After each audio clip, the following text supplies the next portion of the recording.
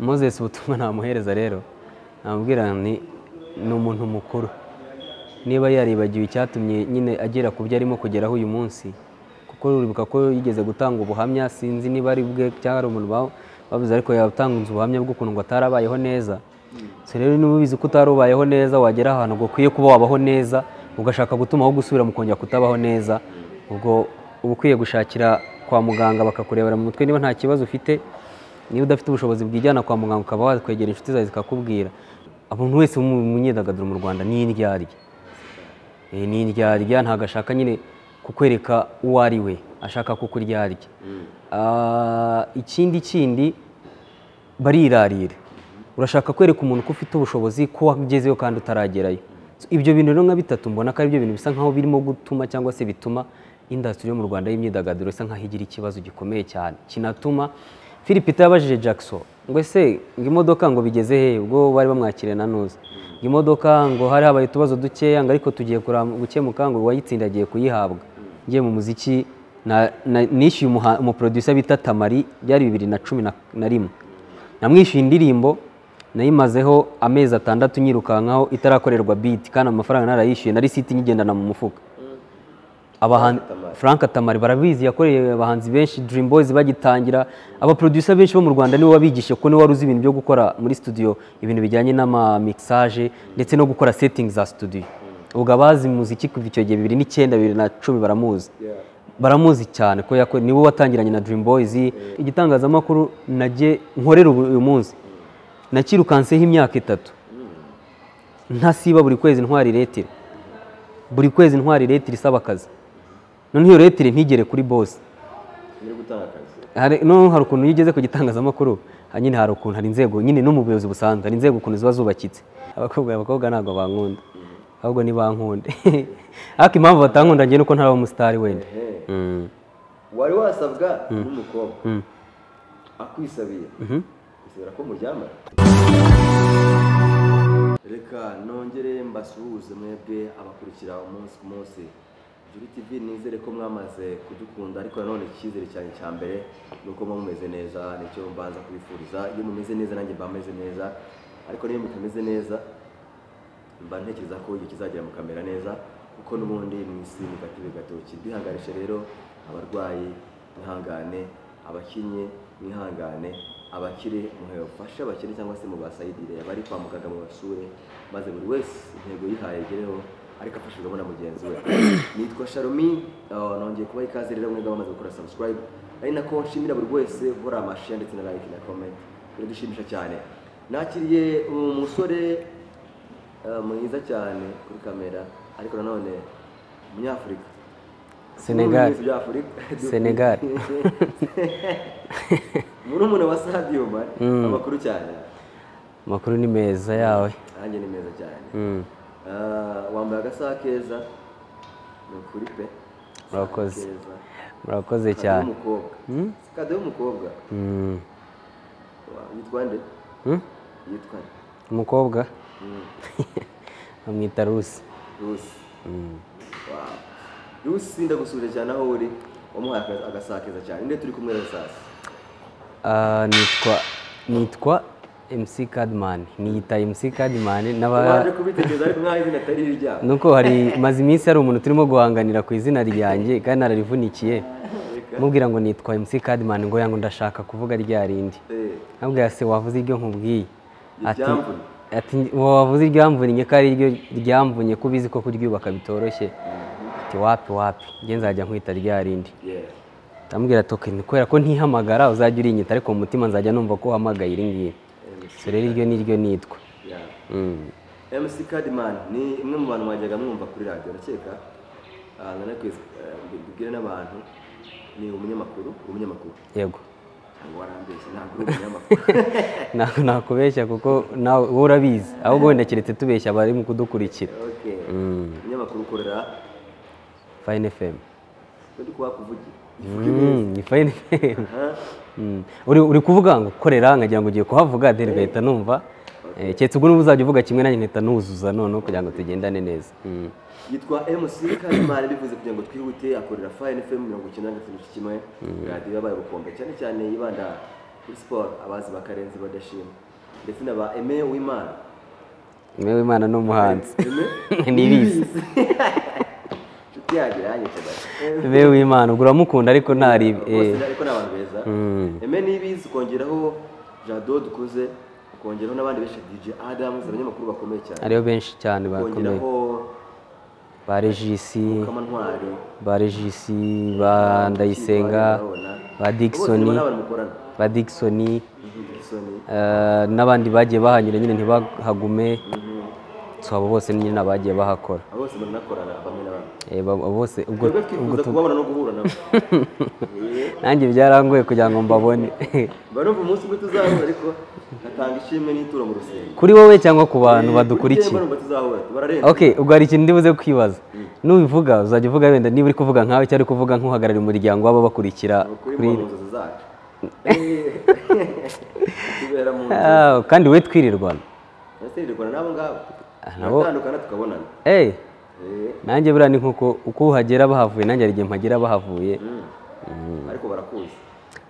Njye ndabazi ariko ntabwo bakuzi. Mbashobora kuba batanzi n'abashuke rero n'abashuke emusika rimwe ntwaye ikaze kuri turi tivi Eh, murakoze cyane. Nishimiye kuba ndi ahangaha Ah, nishimiye ko ngiye ku- kumenyana n'abantu baba muri kino gihugu cyanyu cyangwa se muri iyi nzu yanyu. Mm. ok ni byiza cyane reka mbere kuri physical appearance yawe Mhm. abantu benshi cyane Mm. bavuga ko abahungu b'inzobe Mm. ibyo bintu ibivugwa bigenda mu nzira Mm. ngo baba bakunda gushwanashwana bakunda ku nigeze kubona na meme ivuga ngo ngo nuraba kubonye ngo ahantu ngo batipe bari bari guserera uzamenye ko inzobe ari uyenje uko inzobe ari uyenje urwo rwego aba ntabwo ndi igikara cyane. Ndirabura ntabwo ndi igikara cyane. Kuba wirabura gutyo. Eh, igikara ni bya bindi bitwara inkoko mwana. Eh, ni Eh, ni ibisimba bitwara inkoko ni ayo gikara. oya rero ni ukuvuga ngo byanga bikunda hari aho bihure no- n'igikara nyine uko nguko urimo kubyita none reka mubaze. Mm. nawe wemera ko abahungu b'inzobe batari seriye? Batari seriye? Ah, abo tuziranye abenshi nanjye mba mbona atari seriye ariko ntabwo ariko mbyemera. Nyine ubwo ndimo ndanariza nkurikije ku benshi tuziranye. Mbona nyine ari uko bimeze sinzi impamvu babikora gutyo. Ariko buriya bajya bavuga ko nta nduru ivugira ubusa. Mm, so ubwo hari ababikozeho ubushakashatsi gusa njye ntabwo nabukoze ariko icyo nzi cyo ni uko ariko we nabo musa mwebwe muri seriye abo dusa? Eh. hari n'abatari seriye mu bo dusa. Eh. Eh, hari abo nzi batari seriye rwose. Gusa ubundi biterwa na personality y'umuntu. Eh, biterwa na personality cyangwa se imyitwarire y'umuntu cyangwa se ukuntu umuntu aremetse ni byo bituma nyine cyangwa se ntabe seriye yego so rero ntabwo numva ngo bishingira ku ibara Ah, nubwo hari ibintu byinshi abantu bagenda basanisha bitewe n'uko wenda baba barabwiwe bimwe cyangwa se barashutswe kuko hari igihe ujya kumva ukumva hari ibintu byinshi tuzi twarabibeshywe. So ugasanga rero ko wabibeshywe nawe bigenda ugiye kubibeshya abandi. Njye rero ntabikozeho ubushakashatsi ngo mbone ko ari byo bituma nyine mvuga nti ubwo wenda birashoboka cyangwa se ntibinashoboka. Njye nkakurikiza ibyo mbona n'amaso yanjye. urabizi ko hari abahungu muzanye batari kandi ari inzobe eh barahari benshi. Barahari? Wari urabuzi? Ntabwo navuga ngo ni bangahe ba- ba- birabura? Nabo batari seriye Mm. ubwo mu bantu bose bamo abantu? Eh, abantu bose harimo abantu. Eh, ubwo kuvuga ngo uwo ushaka mu bantu bose wamubonamo. Mm. Ah, ikindi uri umunyamakuru umaze n'igihe. Mm. imyaka irenze umwe ntabwo aba ari mikeya. Gusa nyine ni mikeya. Nkurikije abo abo ngabo wahoze uvuga. Eh, nkurikije abo wahoze uvuga. Icyenda na kangahe? Eh, noneho nkurikije abo wahoze uvuga. Ah, hari abo twakuze kwa kundi wabaga uri muri mu- mu- muri karitsiye handi mwaturukaga ipiriya. Uri kubumva kugira ngo bakwensipire nyine. Kimwe mu bintu byashimishije Mm. ni uko ni uko nahuye na regisi ko wahuye na regisi numva namwumvaga ndi muri pirimeri nongera kumwumva ndi segonderi noneho mu- turahura. muranavugana naramuramutsa disi araramutsa aravuga ati yo ndamushimiye cyane. Mm. bamwita regisi muramira. Kimwe mu byagushimishije rero abantu nyine hari igihe batajya bafata ibintu nyine hari igihe sinzi umuntu ejo nabonye apositinga avuga ngo ni umushuti wanjye w'umuhanzikazi aba mu burundi bamwita Alveira muhimbare. Akina no mu mafilime abantu baramuzi. Yari yapositinze ngira ngo yari ari ku kibuga cy'indege. Avuga ngo igihe uba ubona ko bi- bidashoboka ni cya gihe uba utarabigeraho. Ariko iyo ubigezeho uba ubona ari nk'ibisanzwe nyine. Uba wumva ari ibintu biba. Na na bibiliya yabivuga ko abantu bakunda kuyisoma bavuga ati iyo ibintu wiringira wabibonye ntabwo biba bikiri ibyiringiro. Biba ari ibintu biraba bisanzwe. So rero icyo gihe wamufataga nk'umuntu nyine wumva ati mana we namusuhuza gute? Mana we namu- namubona ne Kuko n'abantu baba bari hambo uburyo utekereza ko ko bizakugora kuba- kubavugisha ariko iyo muri muri iyo ubagezeho icyo gihe uri kumwe nabo uhita nabo bahita baba nkawe gusa ubu nta munyamakuru- munyamakuru wanze gusuza kandi warakuze umwumva wanze Wa- kunsuhuza. nyine nyine ku- kujya mu muzamini taci byakugoye kandi warakuze wumva ari muhura bizaba ari byiza. Kuba in touch. Ah, rero buriya ngewe karagiteri yanjye ukuntu iteye ah, sinjya niba navuga ngo ni ukwihoma. Ndakwaporocinga iyo byanze impita ndekera. Sinjya mvuga ngo ndahita nsubira barahari. Benshi. Bakunaniye. Bananiye pe. Ariko ni nako bimeze mu bintu byinshi. Nako bimeze mu bintu byinshi cyane cyane noneho nko muri ibi bintu byacu tubamo umuntu bumwumva ukumva eh eh eh kavuga uti uyu muntu ntasanzwe. Noneho iyo uvuga ati uyu muntu ntasanzwe noneho ukagira amahirwe yo guhura nawe. Ngira ngo hari igihe akwiyima kugira ngo koko ukomeze umufate nk'aho adasanzwe so rero muri ya personality twahoze tuvuga hari igihe umuntu wifuza guhura nawe akakunanira. Even niyo mwanahurira ahantu by accident. Agahita akwereka ko muhuye ariko mwatandukanira aho ngaho. Agahita akwereka ko mutarahura. Avuga ati ntabwo turahura. Zawe kadima reka nkubite mbangura umaze igihe uba mu rwanda imyidagaduro ibamo kandi ibihembo bitandukanye byinshi urabizi Mm, hari n'ibyo uri gutegura tugenda kuvugaho. Mm, tutari butinde tunabivugaho kugira ngo abantu tubashyire inkuru nziza ko babonye. Urubuga rwo gukabirizamo inzozi zabo nk'uko natwe twakoze dufite inzozi wanzicara kuri mikoro nawe umaze kwicara kuri mikoro Mm. bashaka no kuyisangiza abandi mm. nabo bafate mikoro babone barimo n'ibihembo n'amafaranga yego ariko nanone umukinnyi witwa kabanza njye njye ku batuvuyemo Mm, eh, rwasa yatuvuyemo mm. yakinaga filime yego Mm. iyo aba akiriho yari kuba agirije sinema hehe mu gihugu cyacu Ah, rwasa ntabwo nagize amahirwe kuko buriya umuntu muvuga ari uko muziranye. Wenda kuzi nawe ukaba umuzi ah, cyangwa se wenda umuziho byinshi cyane. So icyo muziho ni uko ari umwe mu ba- mu bakinnyi ba filime nk'uko bivugwa hano mu rwanda ndetse n'uko wenda yanabikoreye afite n'ibimenyetso bigaragara ko ari umukinnyi wa filime. Ariko ntabwo nigeze ngirana umubano nawe cyangwa umumenyeho byinshi. So rero buriya kuvuga umuntu utaziho ibintu byinshi hari igihe ushobora gusanga uvuze ibintu bitari byo byiza. Gusa kimwe mu bintu bigaragara ni uko ah, atari bya bintu byo kuvuga ngo umuntu bamuvuga ibyiza ari uko atagihari. Ah, icyo nibaza cyo ni uko yaba agihari ntago urwego wenda yakoragaho ibintu. Aka kanya ni rwo rwego nyine akaba akiri mu kubikoraho. Hari izindi mbaraga yakaba yarashyizemo mu byo yakoraga. Byagatumye n'ubundi abantu bakimutekereza cyangwa bakivuga ati yo ti kubera iki yagiye ti hari ibintu byinshi yari agifite agomba gukora. Nk'undi muntu wese n'ubundi yatabarutse cyangwa se yafite ah, ibyo yakoraga akabikarangira tuvuyemo abantu bahita batangira kubona ko ahubwo noneho yaba akiri wari bwagakoze ibyiza kurusha ah, mu gihe yari akiriho kandi wenda ibyo ngibyo ari byo yari yaragenewe gukora. So rero ngewe nemera ko ibyo yakoze hari ababyigiraho cyangwa se hari abantu benshi babifatiramo isomo ah, ari na yo mpamvu numva nyine ubwo kuba atanakiriho nyine ubwo ni ubushake bw'imana. Yego. Hari abavuga yuko ngo iyo aza kuba akiriho nta muntu n'umwe ari kuzamutwarana igikombe. Cyane n'ibya sinema kubera ko yari afite impano idasanzwe. Mm. nawe ni kubyemera Ah, kuzabatwarana igikombe rero? Buriya iyo bateguye ibikombe bategura kategori nyinshi. Nyine bategura ingeri nyinshi. Bashobora gutwara Yego. ashobora gutwara meyiri ariko byibuze hari ibintu biba mu rwanda. Ushobora kuyitwara uno mwaka ariko ubutaha ntayitware. Bitewe n'uko wenda uyu mwaka bafite uwo bayihaye undi bafite uwo bazayihereza. So impano ye irabimwemera ko yayibitwara ariko hari n'abandi bafite impano zibemera ko babitwara. Noneho twakwita no ku cyangwa se twakwita no ku mitegurire y'uburyo hano mu rwanda bitangwa cyangwa se big- bigenda bi- birimo uh, katazinda abantu bagenda bitsaho kenshi umunsi ku munsi ubwo byashoboka ko yaba ari mu kubitwara bitewe n'uko wenda icyo gihe ari we ugezweho bamuhisemo cyangwa se baba batamuhisemo ubutaha wenda bitewe n'ibyo atumvikanyeho n'ababiteguye bigatwarwa n'abandi. Urakoze. Iki kintu cy'ibihembo kimaze igihe kivugisha abantu benshi amagambo menshi. Mm. akageza n'aho bashyi- bashyiramo n'inzego z'ubutegetsi cyane cyane z'ubugenzacyaha RIB. Mm.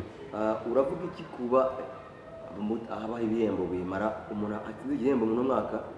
Akaba yanagirwa hashize imyaka ingahe cyangwa se amezi angahe kandi agitsinda mu ijoro runaka Mm. bivuga yuko aragifasha urugero ndaruguha ni ibibazo kwa bahavu. Mm. Jeannette ngo n'umuryango wa Fureri wose kuko yari ahari umugabo we ah, umunsi Jeannette atsindira igihembo. Gusa ntabwo njya kumuzanamo kubera ko umugabo n'umugabo umukinnyi ni we ni we ndi kuvugaho. Eh, bahavu. Abategura amarushanwa urabanenga iki? Cyangwa se urabashima iki ko hamaze guca ibihembo bingahe bitavugwaho rumwe Ah, batsinze ibintu se bagacisha abantu mu nzira z'intereramucyaro ntabwo ndi buvuge ngo ni abategura amarushanwa ahubwo ndavuga kuri abo ngabo bayategura ibyo bemereye abantu ntibabitange. Kuko abategura amarushanwa bo hari abayitegura bakabikosohoza ibyo be- bemereye abantu. Ubwo abo ngabo babitegura bakabisohoza umuntu yabashimira. Ahubwo noneho bariya bayategura ntibabisohoze nibo umuntu yakwibandaho cyane cyane bishingiye no kuri iyo kesi so rero njye mu rwanda mbona sinzi ndacyakora ubushakashatsi ngo umenye mu bindi bihugu ukuntu bigenda. Ndacyarimo gukoraho ubushakashatsi ngo umenye se ubundi mu bindi bihugu bigenda bite babikora bate. Ariko mu rwanda mbona hari indwara ikomeye cyane cyane mu gice cy'imyidagaduro. Ah, indwara y'ibintu nka bitatu icya mbere n'ahandi wenda ngira ngo bibaho ndacyabyigaho nyine mu rwanda ikintu cyerekeranye no kugira ngo bubahe umuntu. Ntabwo kibamo nyine kubaha imvune umuntu aba yaragize. Ntabwo bijya bibamo. Ntabwo mu rwanda bagira ukuri. Cyane cyane ubwo ni mu myidagaduro ariko ndi umuntu wese mu myidagaduro mu rwanda ni indyarya Eh, ni indyarya ntabwo ashaka nyine kukwereka uwo ari we. Ashaka kukuryarya Ah, ikindi kindi barirarira urashaka kwereka umuntu ko ufite ubushobozi ko wagezeyo kandi utaragerayo.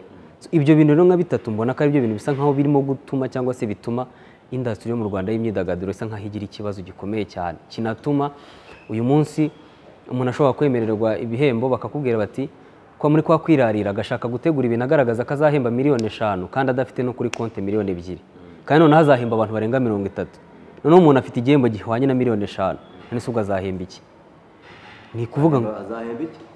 Wahemba iki? Azababeshya. aha. Bazi ibiki. Urabona ko ni kwa kundi navuga ati kwirarira. Nyine ntago bashaka kubakira ku kuri. Ngo bavugire umuntu ni urugero bamubwire bati tugiye gutegura ibihembo ah, ni ukurekonesa ibikorwa watwaye. Ariko bitewe n'ubushobozi dufite ntabwo dufite ubushobozi buguha amafaranga. Dufite ubushobozi burekonesa igikorwa cyawe na publike ikabimenya ko wakoze ibi n'ibi. Ayaboneka wenda twayaguha. Atanabonetse watwara icyo iyo ntuzo nuze iyo no kuri ibi by'ibi bya sinema ariko nanone se reka nkubaze. Ntarajya no ku bindi. Ah, urabona kujya- mu bihembo wagitwara bakakiguha ukajya kurega mu nzego z'ubutegetsi Mm. Ni ngombwa. Eh, ni ngombwa. Ni ngombwa. Kubera ko ibyo ngibyo nyine bi- bica akavuyo no gukinisha izina ry'umuntu. Ma- mani njye reka nkubwize ukuri. Njyewe umuntu ukina na success yanjye abarambangamira kubera ko umuntu aba yaravunitse. Uramutse ubaze imyaka umuntu aba yarirukanse ku kintu arimo kugeranira kugira ngo agire ahantu kigera agikore. Ni ukuvuga ngo n'ubundi aba abishoboye. Ikiba gikenewe rero ni cya gihe gituma ahubwo abantu babyapuruvinga bakavuga ati koko noneho uradukonvense ubaye iwacu. Noneho rero maze umuntu umaze kugera kuri refa konveka abantu akaba uwabo. Ukajya kumukinisha wirirwa umukinisha umutwara muri gahunda zawe. Noneho ikindi kibazo kinabamo hari n'igihe umuntu abikora ku bw'inyungu ze ze ku giti cye. Atakuvuga ngo wenda n'izi nyungu z'indasitiri n'u- n'uwo muntu baba bagihaye ntagihabwe aramutse abonye ko ari inyungu za indasitiri ashobora gutuza. Ariko ikibazo kampere kuri fagite wenda ejo bundi nabonye akavidewo bahava arimo gusobanura wenda ku byabaye. Ati waratuzengurukije mu matuwa aho twaritabiraga. Washyirishijeho sisiteme yo gutoresha. Abantu bacu baratoresheje. Amafaranga ubwo yarinjiraga muri iki mu babitegura. Ukoresha ahantu hose ukatujyana turimo turamamaza burandi zawe. Twebwe fayinari bya bindi twagukoreye utwituye kutwereka yuko nyine uturusha ubwenge kandi natwe turi abanyabwenge. Aho ngaho wishyiramo ukumva ko afite sensi kuko uramutse ugiye kubara agaciro k'umuntu umwanya we aba yarataye n'imvune mani ngewe imvune nizo mpereza agaciro cyane. Kuko ni na yo mpamvu mvuga nti mubwizanyije ukuri. Mukavuga muti mugiye gutegura ibihembo cyangwa se amawadi murayategura. Mubwire umuntu muti turarekonesa ibikorwa byawe dufite. Ariko ku bw'ubushobozi nta bushobozi bw'amafaranga ya n'aya dufite dufite wenda turaguha iyo awadi tunakurekonesa n'abantu banabibone ko ari wowe wakoze cyane. Ibyo bikabera indani mukabyivuganira akaba abizi yuko atazaza aje gufata amafaranga ahubwo azaza aje gukora iki? Guhatana n'umuntu wakoze. Ibyo ngibyo bibabwira hakiri kare. Ariko niba ubwiye umuntu ngo uramuhereza imodoka warangiza iyo modoka wamuyemerera yamara kuyitsindira ugashaka kumuprofitiramo n'ibindi nyine twese turi abanyabwenge rega okay abantu bose ni abanyabwenge. Eh, niyo mpamvu rero ngewe nanjye uramutse unkinishije ntekereje imvune mba naragize nanjye nakwitabaza abo bireba kugira ngo ndenganurwe ko mba narenganye. Niba natsinze ibyo natsindiye mbizi ko bihari mbibona kandi wankoresheje nyine ubwo urimo urakoresha mu- magambo meza niba ariko nabyita ni ugukora ubwambuzi bushukana. Eh, urimo urambura abantu bashuka nyine. Mm, ni ubwambuzi bushukana. Urimo uramushuka kugira ngo umwambure. Yes.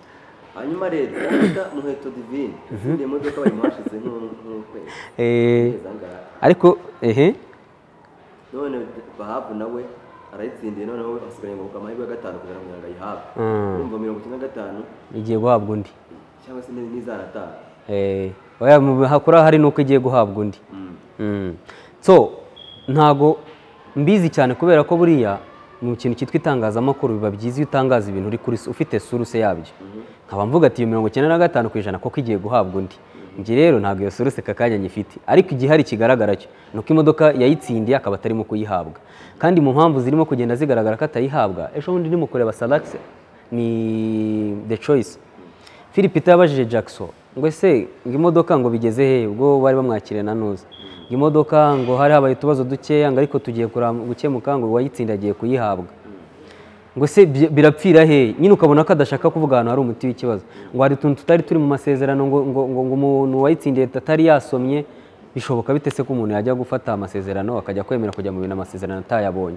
Ubwo byaba ari ikibazo cye ariko ariko nanone wibuke yuko ibyari mu masezerano ni uguhabwa imodoka ariko harimo no kwamamaza. Ntago mu masezerano ngo yayabonye mbere. Iyo aza kuyabona mbere wenda akurikiza ibyo yatangarijwe.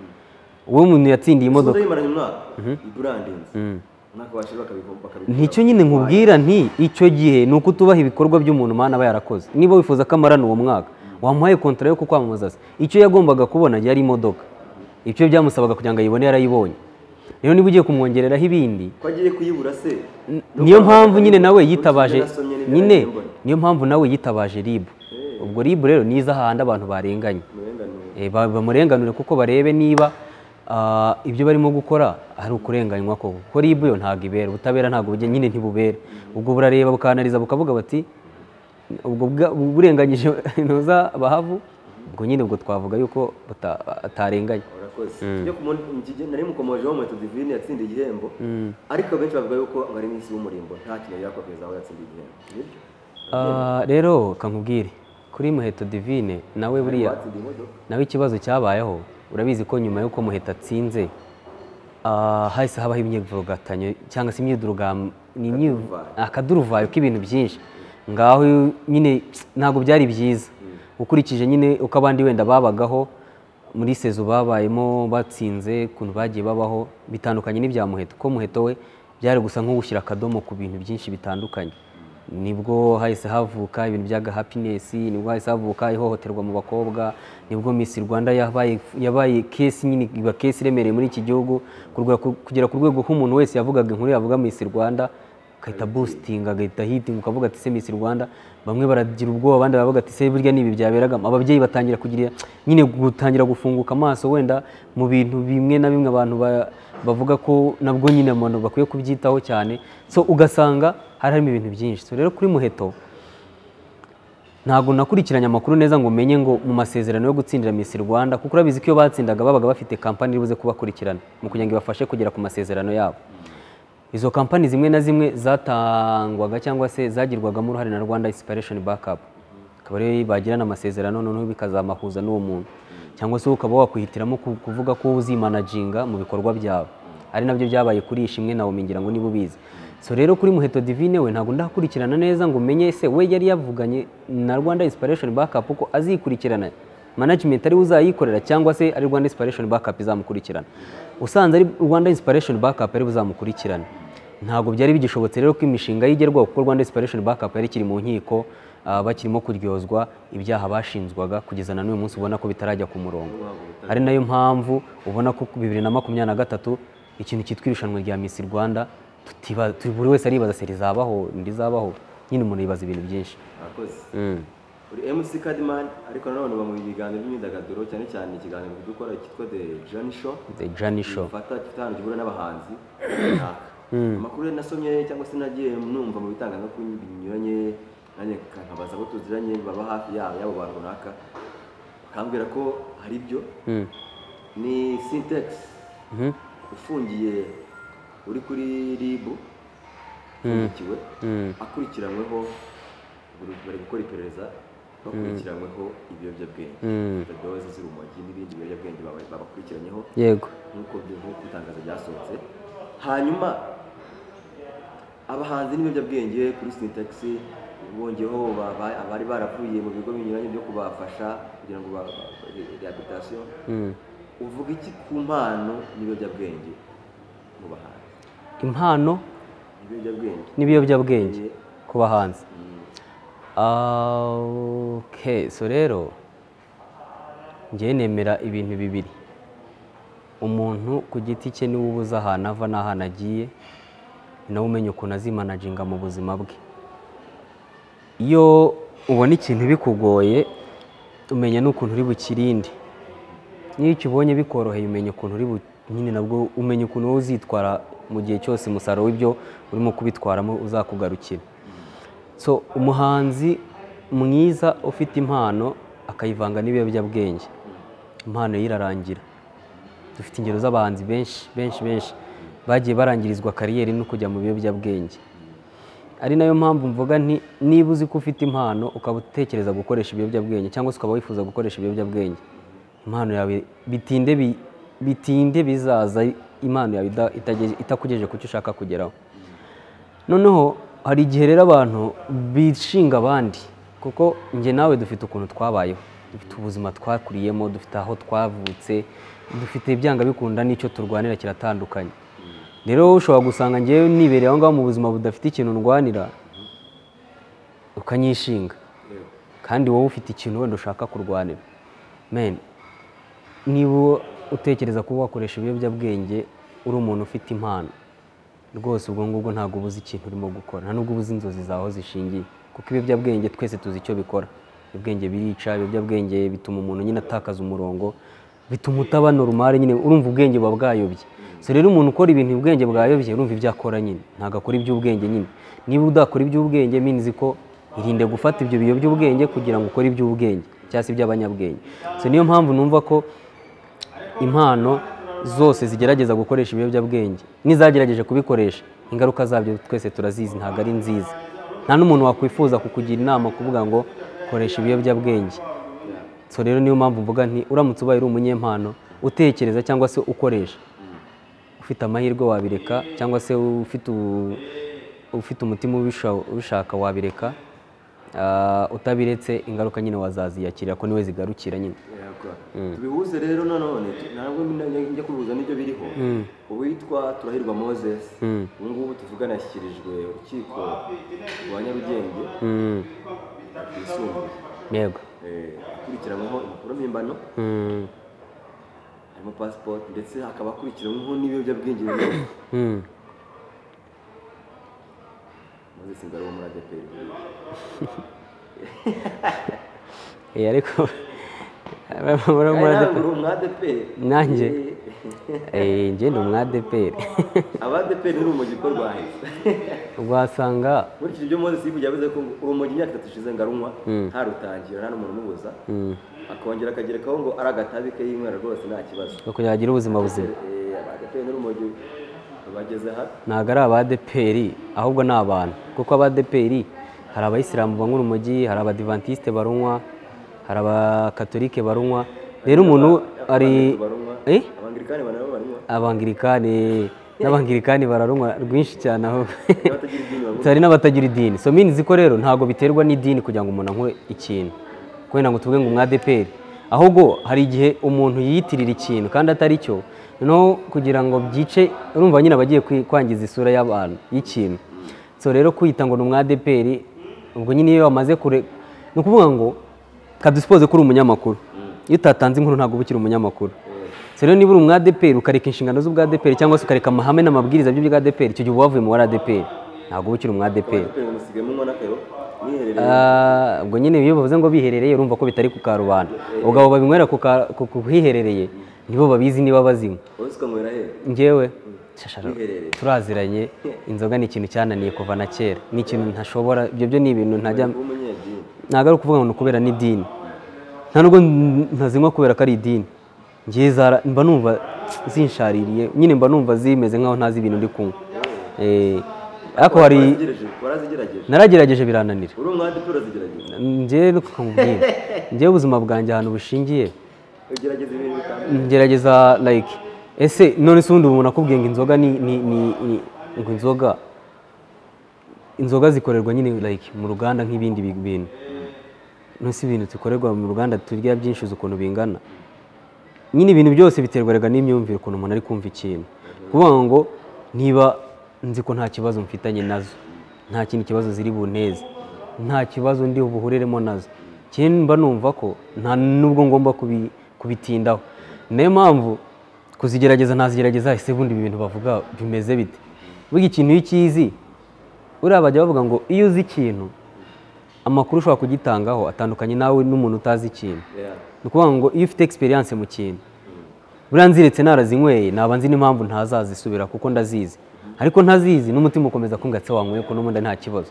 N'undi wanyweye kunari so rero ntabwo inzoga ziterwa no ngo uri none umwadeperi se moses moses wari umwadeperi noneho usigaye yamamaza ari mu bintu by'ubutinganyi kandi abadeperi barabirwanya cyane. Mm. ari mu bintu by'ibimogi n'ibiyobyabwenge kuko bikurikiranyweho amategeko Eh, ari mu bintu yari mu- yari umuntu ukora imyenda myiza ikaba abayobozi abantu bakomeye. Mm. gusa si umuyobozi wa gasogi yari yarayambaye.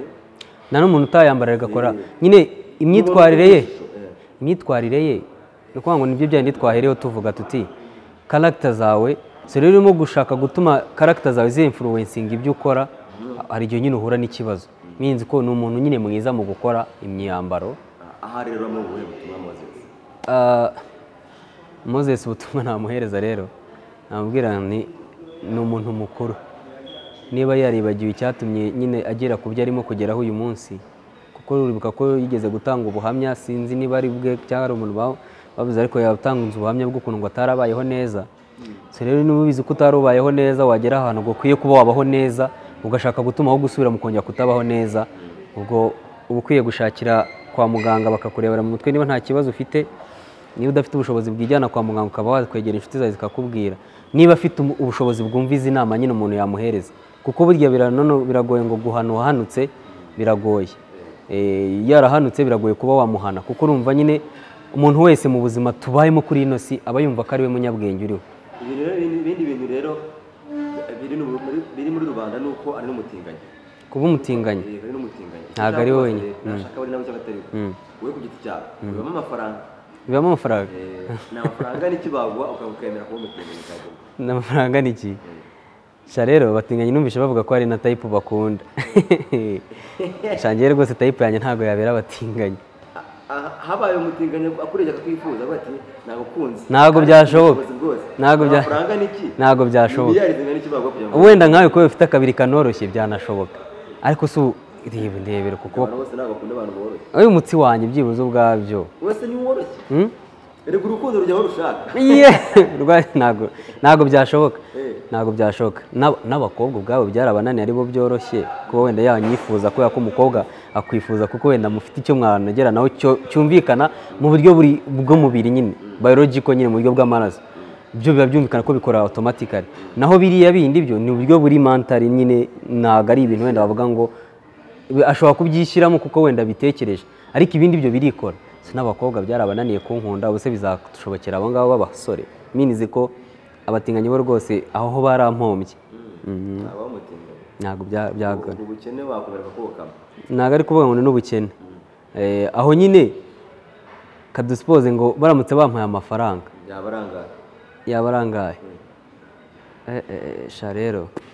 Kugeza ubu kuri ubu ngubu ntabwo nanone navuga ngo ntabwo nzi ngo byifashe gute muri njyewe. Ariko imyemerere yanjye. Tuve ku by'imyemerere oya rega ibintu byose biterwa n'iyo myemerere. Ni uko baza bakabikubwira ukumva urabyemeye.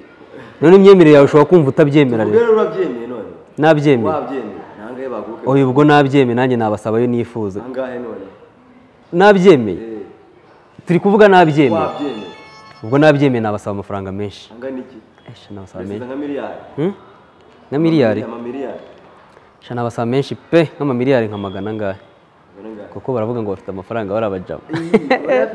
Eh, nabyemeye nanjye nabasaba amafaranga nabasaba amafaranga atazatuma nongera gukena. Nabyemeye nyine namusaba amafaranga atazatuma ntongera gusubira mu bukene tu. Okay. tugane ku musozi rero ariko none tunagaruke mu ma tunagaruke ku gikorwa uri gutegura. Mm, cya miliyoni wise entertainment nk'umuyobozi wayo mukuru CEO mm. w'ikigo CEO w'ikigo miliyoni wise entertainment. Mm. muri gutegura irushanwa rimeze rite? Amakuru ari kongeraho ko Ah. gukiza abantu. Ntabwo ari ugukiza abantu ariko uburyo nabisobanuraho mu buzima tubayemo twese umuntu wese aba afite inzozi. Like ubwo uri umunyamakuru ushobora kuba usanga utari ufite inzozi zo kuba umunyamakuru. Wenda wari ufite inzozi zo kuzaba umuhanzi wari ufite inzozi zo kuzaba umuganga. Aha zo gukina football. Hari n'undi muntu rero uri hariya hasi cyane cyane bikunda no kubaho nkunda kubisobanura kenshi yewe bakunze kubimbazaho hari umwana uri hariya hasi iyo umubajije ati se wumva uzaba iki? Aravuga ati nzaba nzaba kagame nzaba minisitiri nzaba umuganga nzaba iki?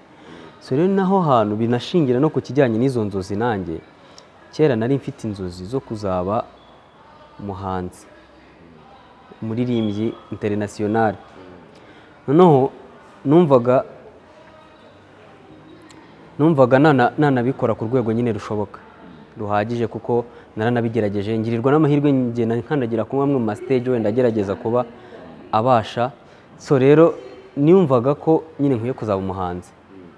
Ariko hari icyatumye ntaba umuhanzi. Kuko numvaga kuririmba mbishoboye kandi nanabizi kuko nanabikoraga nkaba nabasha gu- gufelisitwa cyangwa se bakamfelisita Ah, numvaga nyine no muri studio najyagayo kuko na- nagerageje gukora ibihangano. Mbikoreye ubuntu kubera ko abantu bumvaga ko ndi umunyempano nyine nanjye abantu ba basapotinga iyo mpano yawe. So rero naje guhura na challenge zitandukanye cyane cyane izari zijyanye n'ubushobozi. Ubwo bushobozi rero naje kubwitsaho cyane kuko bwatumye nyine inzozi zanjye zitaba nk'izo numvaga nyine nshaka kuba kubaho. Ngize amahirwe ndavuga ati noneho reka ndebe ku bintu bindi nshobora kuba nakora bigatuma noneho inzozi zanjye zigerwaho. Ubwo narebye mu bintu bitatu nashakiragamo nyine nakinnye umupira cyangwa se football nabaye umuhanzi ndetse ngerageza n'itangazamakuru. Ubwo wenda kwemusinga na byo bizana n'ibintu bya entertainment ariko urumva ibyo bintu byose nabishakishirijemo. Umupira kugira ngo nkujyemo iyo wajyaga mu mupira ahantu twakuriye nyine hari ibintu bitari byiza. Umuntu akaba yarashoboye ariko agatambuka udashoboye. Muri karitsiye abana benshi wenda barabizi abo twabaga turi kumwe cyangwa se n'abantu ba- barabizi. Ni ukuvuga ngo wabaga ushoboye ikintu ariko kuko haje umuntu ufite ubushobozi buruta ibyo bashaka. Buruta ni ukuvuga ngo niba umuntu aje afite amafaranga kandi uh, ufite ubwo bushobozi bwo ibyo barimo gusaba ariko udafite amafaranga nyine ukaba utakomeza. Kuko hari abana benshi benshi benshi bagiye ba- bacibwa intege nuko nyine babaga bazi ko nihaza selekisiyo yaba ziriya zisonga bajyana abana mu kademi ka peri nyine babaga bazi ko batari buzamuke kuko habaga hari bazi ha- bari bugende. Ibyo mu bari bugende. Mu babaga bazi ko batari bugende. Mu- babaga bazi ko batari bugende. hari ababaga bitabiriye kugira ngo byibuze ba- bavuge bati reka bagerageze amahirwe. Njye nabaga mbizi ko nagenda. Ariko nyine hakabaho kuvuga ngo reka ngerageze amahirwe wenda hashobora kuza imana igakorera muri abo ngabo. Imana igakoza isoni satani. Noneho tukabona bajyanye babandi tubona ko turusha ubushobozi twese kuko mwabaga muyizi Eh, muba mwiyizi nyine muri ekipe muba munaziranye baba bavuga ati uyu muntu azi iki n'iki ashoboye iki n'iki muba mwiyizi namwe ubwanyu kuko urabizi n'abakinnyi buri ubwo bakinana. Baba bazi umuntu wabo bakinana. Bavuga bati uyu muntu afite karitizi n'izi ashoboye iki. N'iki so rero iyo habaga nk'uko nguko gukora selekisiyo y'ikintu gishobora kuba cyatuma wa muntu ibintu ashoboye bimubera amahirwe cyangwa bikamugeza ku nzozi yifuza warangiza ukabona ntibikunze ubwo washakiraga mu bindi kuko wabonaga ko bizakugora. Kandi n'imyaka ntabwo iba ikoroheye. Njya mu muziki. Ngiye mu muziki na- na- nishyuye umuproducer bita tamari byari bibiri na cumi na- na rimwe. Namwishyuye indirimbo nayimazeho amezi atandatu nyirukankaho itarakorerwa beat kandi amafaranga narayishyuye nari siti nyigendana mu mufuka. Abahan- Tamari. frank tamari barabizi yakoreye abahanzi benshi dream boys bagitangira. Abaproducer benshi bo mu rwanda ni we wabigishije kuko ni we wari uzi ibintu byo gukora muri studio ibintu bijyanye n'amamixage ndetse no gukora settings za studio. Ubwo abazi muziki kuva icyo gihe bibiri n'icyenda bibiri na cumi baramuzi. Baramuzi cyane ko ni we watangiranye na dream boys ni we wigishije ndamuzi. Eh, ni we wigishije Lick ibintu nawe byo muri studio ko abantu benshi baramuzi. Gusa nawe ibiyobyabwenge byaje kumunaniza. So maze icyo gihe rero mbona biragoye. Nitabira amarushanwa nabwo nkabona ntabwo ndi gutsinda nk'uko nyine nabyifuzaga kuko urumva baza bashaka umwiza kandi wenda akaba hari n'abeza kuko kugira ngo kubona ko kuba iwanyu mutari abakire bikubuje kujya mu tugero dutandukanye ngo bakatwara z'umupira oya nagakwanga ni uko batari n'abakire. Bashobora kuba bari n'abakire ahubwo wenda icyo wenda bifuzaga ko mba atari cyo njye nshaka. Eh, Eh, ni ukuvuga ngo niba bashaka ko njya mu ishuri njye nkajya muri football ntabwo najya kuvuga ngo mpa amafaranga yo gukina umupira. Noneho niba ngiye muri muri muri muri football ubwo ndirwanaho nyine. Ibyo nkeneye byo byose ndabyirwanaho. Atari ukuvuga ngo ni uko wenda banayabura ngo wenda banayampe ngende nanjye nyatange ahubwo nyine bo ntabwo babishaka.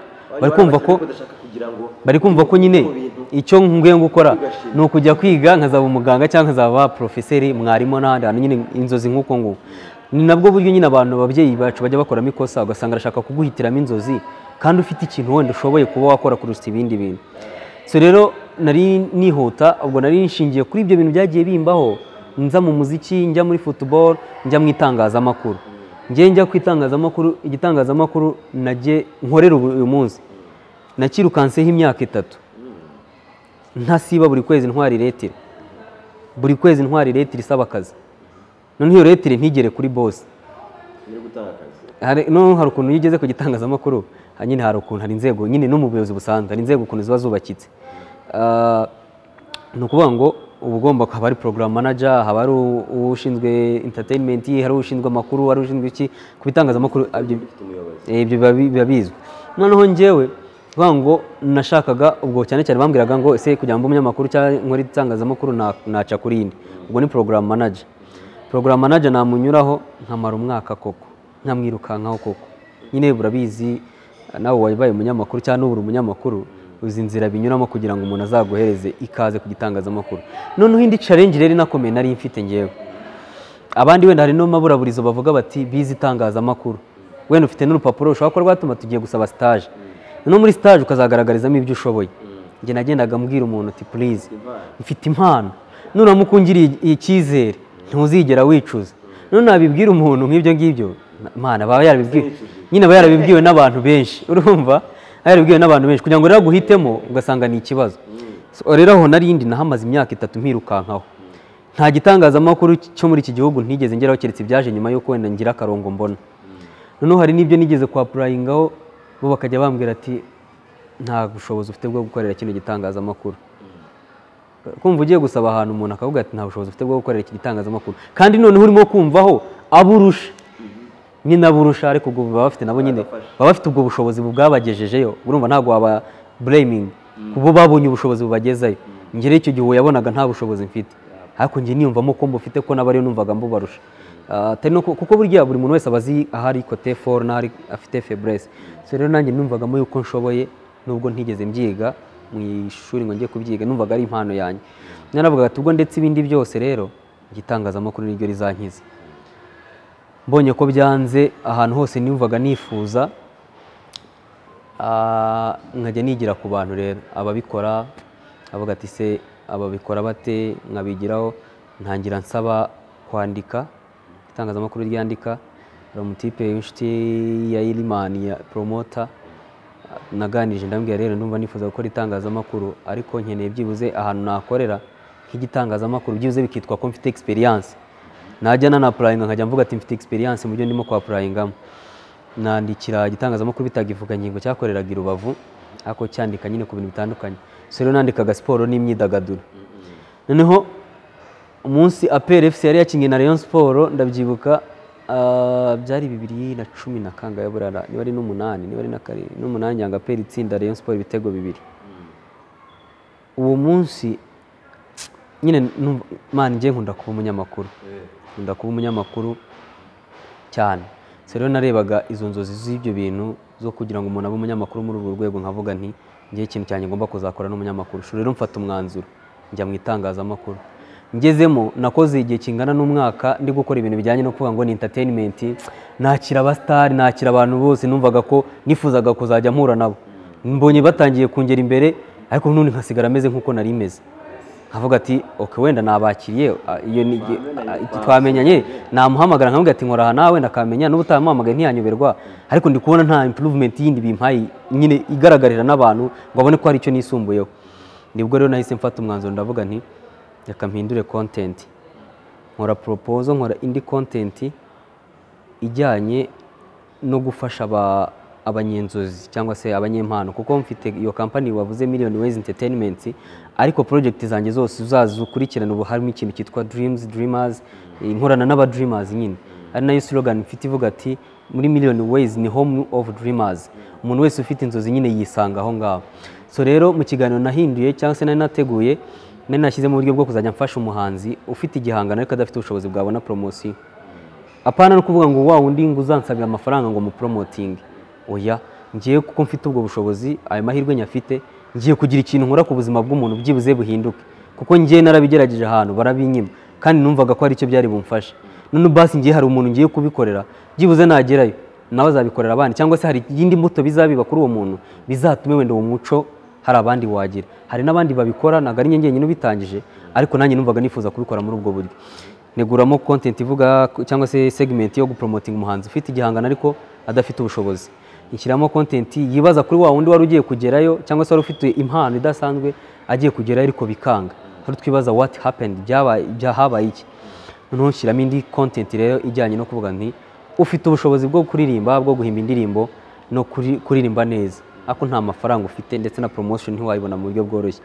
Rero ngiye duke mfite ntushyize kuri ibyo byo udafite ibyo ufite nta kintu byamarira wowe. Mpita nshyiraho uburyo bwo gushyiraho telefone nganiriza amasitudiyo ndavuga ati umuntu azajya aririmba live natsinda akoresherezwa igihangano n'iyo studio. Noneho studio na yo nzajya nyamamaza. Ni ukuvuga ngo mbikoze ah, buriya kubona improvement yawe ntabwo bigora kubibona. Nyine bihita byigaragaza ni ikintu improvement bi- bihita byihuta. Nyikoze nakoze ikiganiro amezi abiri gusa ariko amezi abiri umusaruro byari bimaze kumpa nabonaga wari urenze wa mwaka nakoze mbere ibyo nkorera abasitari ni ukuvuga ngo ubona narabakoreraga. Ndabacurangira indirimbo. Abasitari bo mu rwanda abasitari bo mu rwanda? Abasitari bo mu rwanda ni ikibazo gikomeye cyane. Njyewe nabakoreraga ni ukuvuga ngo narabakoreraga. Bo bo nta kintu bankorera. Ibaze aho wakoreraga umu- umusani wamutumiye no kugira ngo apositinge post wamu- wamukoreye bikarangira na yo atayigize atayipositinze kandi ngo ubwo muri mu gufatanya. Rero abahanzi bo mu rwanda cyangwa se n'abasitari bo mu rwanda agendana n'uwo bari mu rwego rumwe. Ntabwo bivuze ngo nyine ngo uvuga ngo hari umunyamakuru witwa Cadman umaze umwaka aje ntabwo ibyo akeneye kubimenya. Ahubwo akeneye kubona wapositinga indirimbo ye kuri ya radiyo ukamuhereza akarinki byibuze kagaragaza ko urimo kubipureyinga noneho agahita kwandikira inbox iti thanks. Ntiyanajya no kuri sitati ye ngo ayipositinge avuge ngo thanks Cadman oya arajyamo iyi inbox avuga ati thanks bro. Uri uri gukora akazi gakomeye. Ariko ntiyabishyira birangirira. Ariko ntiyabishyira no kuri sitati ye ngo avuge ati umunyamakuru Cadman. Eh, arimo gukora ibi n'ibi. Oya ntabwo abishaka. Kandi ibintu ukoze arimo kubona ko bifite umumaro. Ariko ntashaka kubyereka abo bantu. Sinaje kubona ko rero nyine nkwiye kwita kuri ba bandi nanjye. Aba bandi ba- nanjye ibyo nari nkeneye nanjye nkwiye kubyitaho kugira ngo byibuze mbafashe. So rero naje kubona ko abantu bari kubishaka ari benshi telefone ni ukuvuga ngo buriya bajya bavuga ngo hari igihe ugeramo kwitaba telefone nyine ukajya uvuga ati noneho aho bigeze ntabwo bwongeye kuyitaba. Guti kwikura hiye hari igihe umuntu ashobora kubikubwira ukabihakana. Nyuma y'uko ntangije iyo content yabaye man nziza cyane. man telefone byibuze ku munsi. Niyo tuma itegura amarushanwa se? Yes. Ni ukuvuga ngo ibyo byo ubwabyo byanyeretse ko hari impact biri gutanga. Hari abantu bahise bamyandikira abantu bampaye congratulation. Noneho muri bamwe na- na- nafatiragaho nk'igitekerezo kambwira ati bro numvishe ikiganiro cyawe. Ati numvishe ari sawa. Ati biriya bintu ni byiza kabisa. Ati noneho n'ikimenyimenyi nta n'ahantu bigisigaye. Reka noneho twinjire neza mu gikorwa nyirizina Yes. dusobanure neza abantu bashaka kucyitabira abaterankunga bagenda baragwiriye simbizi noneho bari icyo uvugaho noneho kugira ngo Mm. urwo rugendo rwose abantu bahita bamenya Cadman asiga noneho. Bamenye impamvu nabiteguye. Ah, ni ukuvuga ngo nyine nyuma y'uko ibyo byose bibayeho nyuma y'uko ibyo byose bibayeho nahise noneho mvuga nti niba abantu babaye benshi rero biragaragara nyine umuntu wese arakura. Uravuka ukiri mutoya ukagenda ukura ukura ukura kuwangana gukira umwana ntabwo ariko kingana nabonye ko bibaye babaye benshi. Ndavuga rero none reka njye nshyiraho ahantu hagari wa muntu wese abantu bose babyifuza bahazi none na approaching n'ibindi bitangazamakuru apana kimwe nk'uko nabyikoreshaga ndi umwe none approaching n'ibindi bitangazamakuru birenze kimwe kugira ngo bize dufatikanye kugira ngo noneho umusanzu natangaga kuri wa wundi umwe. Byibuze ube uw'abantu benshi atari uwanjye njyenyine. So ntegura amarushanwa nise Dreamers Talent Competition. Aho ngaho ah, naho umuhanzi wifuza nyine gukoresha igihangano afite impano ashaka gukoresha igihangano ah, yiyandikisha ah, kwiyandikisha ni amafaranga. Kubera ko buriya mu buzima iyo ufite ikintu ushaka ntabwo byakubuza gutanga ikindi nawe ugomba kugira icyo utanga kugira ngo nawe ugire icyo ubona. Impamvu twabigize amafaranga byari ukugira ngo buri muntu wese atumva yuko akwiriye kubizamo. Nibyo umuntu wumva ko akwiye kuba birimo akabigira siri akavuga ati kuko n'ubundi amafaranga ukurikije amafaranga batanga ntabwo ahwanye n'ibihembo twabahemba. Eh, byibuze uramutse ugiye kubara niyo ayabo bose bayatanga. Ntabwo ahwanye n'ibihembo twahemba abo batatu bose. Ntabwo bihuye. Ariko twabishyizeho kugira ngo umuntu atumva ngo ah n'ubundi bwari ubuntu nanjye kampfe kujyayo. Buriya umuntu yagiye mu kintu cy'ubuntu nyine ugifata nk'icy'ubuntu. Rero twagize byibuze turebe ko uyu muntu yajyamo hano hantu abishaka anabikwiriye cyangwa bimerida kugira amafaranga ibihumbi bitanu kwiyandikisha biyandikisha baciye kuri kode barishyura. Wandika bya bindi byo kwishyura kuri kode ukandika karindwi gatatu karindwi gatatu umunani kabiri. Ubundi ukishyura amafaranga ibihumbi bitanu. Iyo umaze kuyishyuraho uhita utwoherereza mesaje kuko hari nimero ah, na yo tuba twarashyizeho ariyo zeru karindwi icyenda umunani. Gatandatu gatanu ebyiri kabiri iminani ibiri. Eh, twitaba turi babiri. Twitaba turi babiri kuko mfite n'undi muntu umwitabira. Ah, kuvuga ngo hari ukuntu bahuza telefone. Nkaba nakwitaba ariko hakaba n'undi wakwitaba igihe njye ntakubonye. So rero ni abo ngabo nyine ni ubwo buryo twabigenjemo. Turavuga tuti noneho reka tubitegure. Noneho nagiye nkomanga ahantu henshi hatandukanye ngenda mbereka igitekerezo. Abo nagerageje kukibwira bose banyeretse ko ni igitekerezo cyiza cyane kiramutse kigeze kigeze ku nzozi zacyo cyangwa se ku ntego zacyo. Abafatanyabikorwa mumaze ku- kubonana gukorana Ah, kuri ubu ngubu ni ibitangazamakuru ah, kuri ubu ngubu ni ibyo bitangazamakuru nahoze mvuga harimo inyarwanda. Ah, dufitanye amasezerano y'uko agomba gupromotinga icyo gikorwa cyose ndetse no gupromotinga umuhanzi watsinzemo aho ngaho. Bihangano bye. abandi bajyaga batsinda nyuma yo gutsinda irushanwa umuntu ukamubura. Ariko ngewe nashyizemo ingingo igomba gutandukana n'iz'abandi kuvuga ngo wigira ku makosa y'abandi bakoze. Iyo utsinze tugukurikirana igihe nyine kigomba kugaragaza na bya bihangano byawe. Atari ukubikora ngo uzagaruke usuragoringa kuri poromosiyo n'ubundi bibe imfabusa Kuvuga ngo urakorerwa igihangano muri studio twe twaguhaye ah, promotion ibi yacu n'ubundi mu gihe cy'umwaka. Kuvuga ngo byibuze niba wakoze ibintu byiza wanatsinze kuko bikwiriye na poromosiyo izakorohera. Ni ukuvuga ngo rero harimo inyarwanda harimo radiyo fayini fm harimo n'izindi radiyo zirimo kugenda nkirimo kugenda na aporocinga kurumva ntabwo zose nari buzigerereho rimwe. Harimo asafi purintazi harimo ayiteki tekinoloji harimo ibtc filimuzi sikuru harimo future focus production. Urumva abo bantu bose babaye kwifatanya natwe ku nshuro ya mbere dutangiye iki gikorwa. Ni ibintu byo gushimira cyane ni ibintu byo kwishimira kandi ni ibintu binagaragaza yuko nyine natwe ubwacu tubiteguye nk'uko tubitekereza bikagenda nk'uko tubyifuza ni ibintu byazatanga umusaruro. So rero abo bafatanyabikorwa nibo tumaze kugira aka kanya ariko haracyari n'abandi tukirimo kuganira kuko urumva ntabwo igikorwa kiraba nyirizina kiracyafite amezi nk'abiri inyuma. So rero dushobora no kugera icyo gihe twarabonye n'abandi barenga n'icumi. Igihembo nyamukuru ni angahe cyangwa se ni iki? Niba ari amafaranga niba ari igihe igihembo nyamukuru ni ukuvuga ngo umuhanzi yatsinze twamwemereye kuzakoreshezwa indirimbo eshatu na videwo imwe. Tukamugerekeraho guhabwa scholarship yo kwiga videography na film making muri ibtc film school. Eh, okay ukajya kwiga nyine. Okay ni ukuvuga ngo ni urugero rwa Chris Easy Chris Easy ni umuhanzi ubasha kwikorera videwo ze akieditingira ni ukuvuga ngo kwa kundi abaproducer bashobora kugutindiriza amashusho we ntabwo bibaho. Nubitinze arabyikorera. Rero natwe ni cyo kintu twumvaga turashaka gukora contribution ku gihangano ku buhanzi bw'umuntu. Kuvuga ngo turashaka ko akorerwa indirimbo muri studio kuko studio na yo dufitanye amasezerano yuko igomba kuyikora ubwo na yo itayikoze nyine ubwo hari ibyo tuba twavuganye. Noneho niba amaze kuyikora akani- akanikorera video. Kuko urumva tukamuhereza nyine ni uko wakwigisha umwana kuroba ifi. Yes ni ukwigisha umwana kuroba ifi apana kuyimugaburira. Twe tugiye kuyimwigisha ukuntu bayiroba nyine. We ajya yirobera apana kumubwira tuti tugiye kuguha ifi ngwino rye byahiye. So rero urumva ibyo ngibyo hari n'amafaranga ibihumbi ijana yigerekaho kuri iyo ngiyo ubwo nawe yagufasha mu gihe cy'agataransiporo wumva nk'umuntu ugitsinda ukizamuka ukeneye n'agataransiporo kakuzamura ahantu. no kunywa ka cyayi ukishimira n'iyo ntsinzi. Ntabwo twigeze twifuza guhanika ibihembo kubera ko ibyo twari dufite twari ibyo by'ubushobozi bwacu. Bitazanabura. Bakanadushyira muri za ba bandi ngo do n'abandi baraje. Aba nabo ni nka ba bandi. So rero twanze gu- gukora ibintu bituma umuntu nyine azasigara nyuma ahanganye natwe atubwira ati munyishyure munyishyure oya. Twifuje kuvuga ibifatika. Kandi umuntu ufite inzozi ari umuhanzi. Niyo wamukoreshereza indirimbo imwe yonyine. Irahagije kugira ngo agaragaze icyo ashoboye. Nyine ubwo ku bahanzi bahita babyumva. Mm. ikindi kibazo wenda tugana ku musozo. Aha. Kwiyandikisha byaratangiye? Kwiyandikisha byaratangiye ku itariki makumyabiri n'eshatu z'ukwa kane. Bizasozwa kuri makumyabiri na zirindwi z'ukwa gatanu. Irushanwa bizakora performance ya mbere ku itariki enye z'ukwa gatandatu. Ah, ubwo dutore kwitoresha bizaba biri kuri website ya noneho events ubwo ni website y'inyarwanda Ah, n'amafoto ibintu byose bi- bijyaho kugira ngo n'abantu baze barebe abantu barimo guhatana. Hanyuma nyuma y'ibyo ngibyo y'abamaze gutorerwa aho ngaho ku itariki ebyiri aba bantu bazaba barabonye amajwi menshi. Ubwo tuzaba dufite lisite yabo uko bakurikirana barushije abandi mu majwi tuzaba dufite aba judges.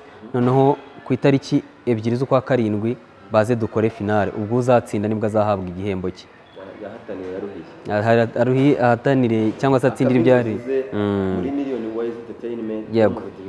Mm. tugeze ku musozo ariko nanone bwa nyuma reka kubasa Mm. wahuye n'abasitari Mhm. ariko banza ugira icyo wongera mu byifuza kugira ngo tuba igisubizo tuba dusoza Eh, ngo ngiki banza ugira icyo wongera ku byo yenda nakubajije bijyanye n'iryo rushanwa. Nugisubiza ikibazo ndi bukubaze. Ubwo ubwo ni ukuvuga ngo mm, ku byo nari ndimo mvugaho bantu mufite inzozi bantu mwifuza gufasha abanyempano ah, niba uri n'umuntu ufite inzozi mu buzima bwawe ntuzigere ucibwa intege no kuvuga ngo amateka y'ahahise ngo aguce intege. Uvuga uti nagakwiye kuba ndi uwo kwa kanaka kugira ngo nkore ibintu bidasanzwe nagakwiye kuba mvuka hariya kugira ngo nanjye mbe umuntu udasanzwe. Wowe ubwawe wowe wowe uri uwo nguwo uri we uri umuntu udasanzwe wanakora n'ikintu kidasanzwe. Ntabwo bisaba rero kuba ufite aho wavutse kuko bariya ba- bariya ushaka kuvuga ngo ni ho ukomoka nabo bafite aho bakomotse. Ushobora gusanga nabo bafite itangira ryabo ryari riruhije cyane. So rero niba uzi ko ufite inzozi iga gukorera inzozi zawe igirira icyizere wumve yuko inzozi zawe nizo zizakugira umuntu udasanzwe. Rero wikina n'inzozi wikinira mu nzozi. Ubaha inzozi kuko inzozi nizo zizatuma uba umuntu udasanzwe muri ino si. Niba wifuza gufatanya natwe muri ibi bikorwa turimo gukora cyangwa se niba wifuza kubana natwe ah, ushaka nawe gushyigikira abanyempano imiryango irafunguye ntabwo ibi bintu turi kubikora kubwo kugira ngo wenda tugaragaze ko turi abantu badasanzwe ntabwo ari byo turimo gukorera ahubwo turimo kubikora kugira ngo byibuze ushobore gufasha umuntu udasanzwe kuba koko umuntu udasanzwe. Kandi bikorera mu bimenyetso. So rero kuba gufatanya natwe bira- birashoboka. Izo nimero navuze haruguru ubwo ushobora no kutwandikira. Uciye kuri instagram zacu ngewe ubwanjye nkoresha mc cadman Ah, hari website cyangwa se hari na, social media ubwo ari instagram. Instagram ubwo hari ya dreamers talent competition urajyaho urahita uyibona. Hari ya million ways entertainment. Hari n'izo nimero nari navuze ari zo zeru karindwi icyenda umunani gatandatu gatanu ebyiri kabiri iminani ibiri. Izo zose uziciyeho twavugana. Noneho niba wifuza no kwamamaza no muri ano marushanwa wifuza kugira ngo tu, tuzagendane ujya unagaragara nk'umuntu watanze ibihembo nk'uko mva za IBTC Films School baje Asafi Printers baje n'abandi bagiye baza nawe uhawe ikaze cyane kandi imiryango irafunguye. Kubaza nanjye nkubaza nti wahereye kera wirukanka kugira ngo uzakunde uhure n'abasitari nawe ujye ube n'umusitari. Umenyekane bitewe ni- n'inzozi zawe wari ufite? Ariko amakuru nahereye kera nanone ni nkurura numva ni uko abasitari bakundwa n'abakobwa. Banza unyemerere urwego. Nibyo koko cyane nakareka urwego aho umaze gutera aho umaze kujya? Abakobwa baragukunda Bara- abakobwa abakobwa ntabwo bankunda. Ahubwo ntibankunde ariko impamvu batankunda njye nuko ntari umusitari wenda. Wari wasabwa n'umukobwa. Mm. akwisabiye. Mhm. isabira ko muryamana. Anyisabiye. Eh, Ah, yego. Niba ari kwisabira. Umukobwa wisabira umuhungu ko baryamana. Ute? umukobwa izabira umuhungu uko baryamana. Uwo nguwo aba yaritinyutse wa mugani wa wa mukobwa ngo itinyuke urashoboye. Gusa Ah, hari igihe byambayeho rega nubwo ari na kera. Nk'uku nguku hari ukuntu umuntu aba atakuzi wenda akumva kuri radiyo Ah, hari umukobwa rero nyine wajyaga akunda kumpamagara cyane nyine mu kiganiro. Noneho arambwira ati se waduhaye nimero? Tukakuvugisha. Ntanga instagram nyine ansaba nimero ngo njye- agiye kumvugisha.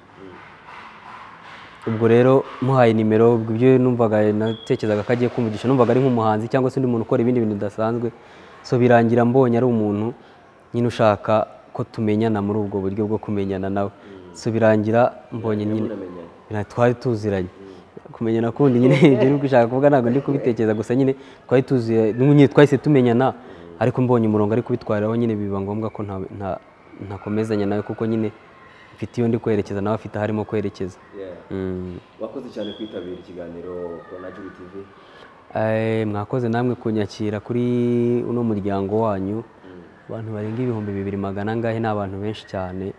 Nibabona ino notification ubwo basangize n'abandi kugira ngo bongere biyongere nyine batumire abandi.